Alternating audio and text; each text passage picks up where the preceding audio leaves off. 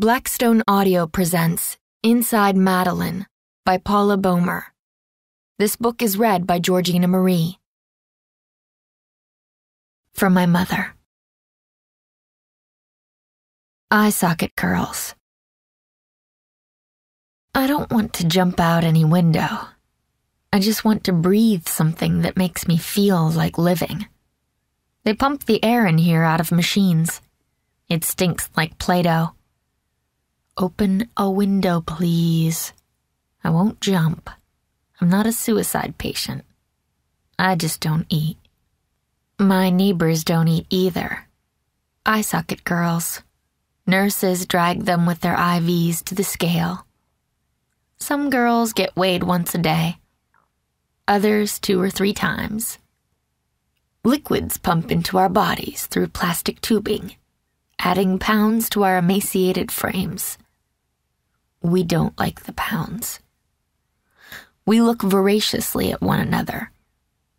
We envy the protruding bones of someone who is that much closer to not being here at all. You may think that I don't know I'm emaciated. I know every curve and angle of my rib cage. I know my breasts have disappeared completely and my nipples lay flat against my chest.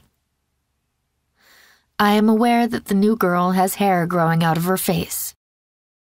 This girl's body sprouts hair like moss on a tree stump, everywhere, to keep itself warm, to protect itself. I know about these things. I'm aware of the effects of my disease. It started with sesame seeds. One by one, I rolled each one between my forefinger and thumb and then I placed it on my tongue. Salt and oil. Nuttiness. I counted each one. I counted how long I rolled each seed greasily between my fingers. Ten seconds to roll. Ten seconds in the mouth. I ate 74 seeds that day. It became my thing, my personal toy. I counted sesame seeds for the rest of the year. Now this hospital is exerting itself on me. It's like a muscle man on top of me. It's attempting to take away my grip on life. I count the seconds and minutes from when I wake up to when the nurse does her rounds in the morning. I count the seconds and minutes I visit with Dr. Johansson every Saturday morning. I count the seconds and minutes it takes me to eat my meals. Yesterday, they brought in the new girl, the one I mentioned. She looks young, maybe 16, but it's hard to tell. Where's she been hiding, I wonder? She's so wasted away she can't really stand up. Her skin is blue green, veins throbbing screaming for oxygen.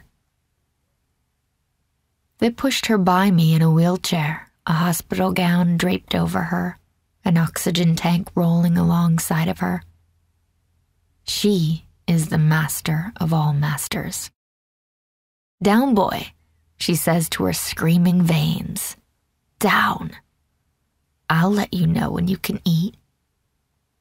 She has a tiny bit of blonde hair on her head I bet at one time it was thick and shiny, falling in cascades down her back. Now it falls out in handfuls. Bald patches on her scalp. Her face and arms are furry, though, with dark, fine hair. They haven't made her get up and go to the scale this morning. They just keep her in bed IVs galore floating life back into her body.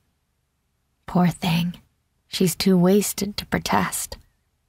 But once she regains some strength, I bet she'll be a contender. She seems blessed with stamina. I never made it that far. Not yet, at least.